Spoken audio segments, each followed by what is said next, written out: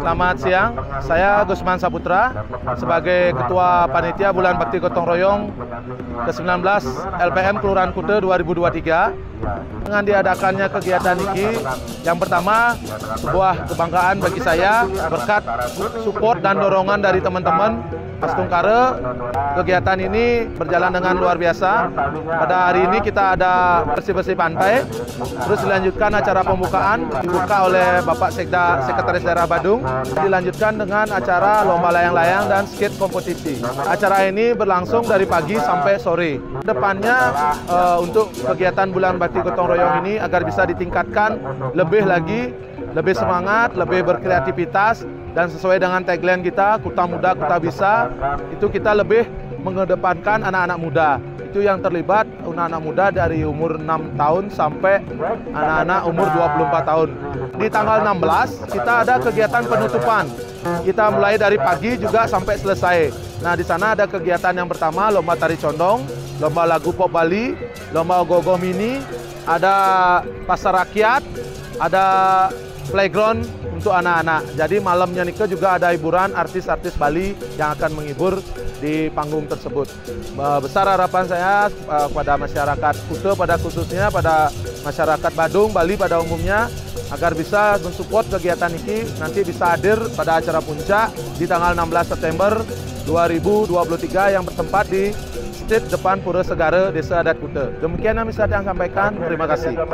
Akhirnya dengan mengucapkan Om Aligenam Astu nama sidang hari ini hari Minggu tanggal 10 September tahun 2023 bulan Bakti Gotong Royong masyarakat LPN Tuhan Kutu secara resmi saya nyatakan dimulai. Terima kasih.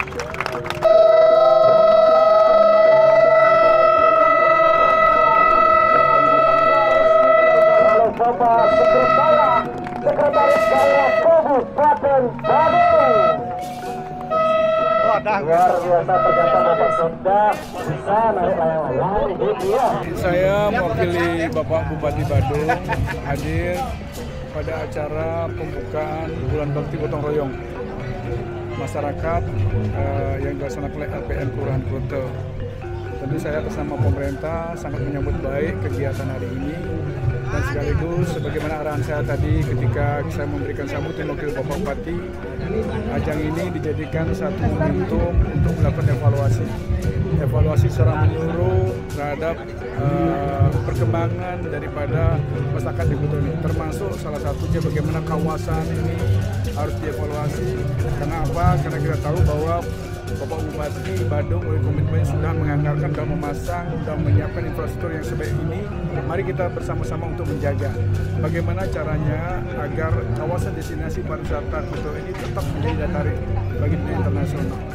Yang kedua tentu untuk mempertahankan hal itu, saya mengajak kepada seluruh masyarakat Kurang Kuto, mari kita bersama-sama miliki miliki dalam artian luas kebersihan dijaga, jangan sampai kumuh, bagaimana kita menata ke depan. Jadi tetap kita tidak boleh uh, mandek, kita tidak boleh berhenti untuk menjaga menata Kuto ini. Karena bagaimanapun juga Kuto ini adalah embrio destinasi pariwisata yang ada di Bali dan di di, di, di Bandung ini. Dan ini harus kita tetap rawat dengan baik, kita harus pelihara dengan baik dengan cara apa? Ada satu sinergitas antara pemerintah dengan masyarakat. Saya melihat tadi juga sempat melihat bagaimana uh, tempat uh, rekreasi skateboard di sana. Ini juga menjadi daya tarik, daya tarik yang sangat luar biasa. Kita tetap berharap bahwa pantai ini menjadi public meet dan tempat orang mau berkumpul. Dengan begitu orang uh, orang berpikir untuk datang ke Kuto. Dengan orang datang ke Kuto, hotel-hotel di Kuto akan banyak terisi dan akan banyak orang berinvestasi di Kuto. Kalau itu terjadi berarti apa? Uang akan beredar di Kuto uang beredar di Kuto berarti pendapatan masyarakat Kuto akan mulai meningkat dan itu akan mendorong daya beli. Kalau itu bisa terjadi, itu akan terjadi pertumbuhan ekonomi di Kuto. Itulah yang harapan pemerintah sebenarnya. Sehingga apa? Ekosistem ekonomi harus dijaga. Dengan cara apa? Mari kita semua apa yang sudah kita lakukan sekarang dijaga, dirawat dengan baik dan kebersihan harus dijaga. Saat tadi sudah sempat bisikin tokoh-tokoh masyarakat Kuto, Pak Lurah, Pak Camat, uh, anggota DPR, Jero Bedeso, para kepala lingkungan. Mari kita sama-sama bagaimana menjaga Kuto ke depan. Dan kita tidak boleh berhenti dan menyerah untuk merawat Kuto ini. Karena bagaimana Kuto ini, Kuto ini mempunyai satu historical yang panjang terkait dengan perkembangan pariwisata kita di Bali dan di Badung. Kami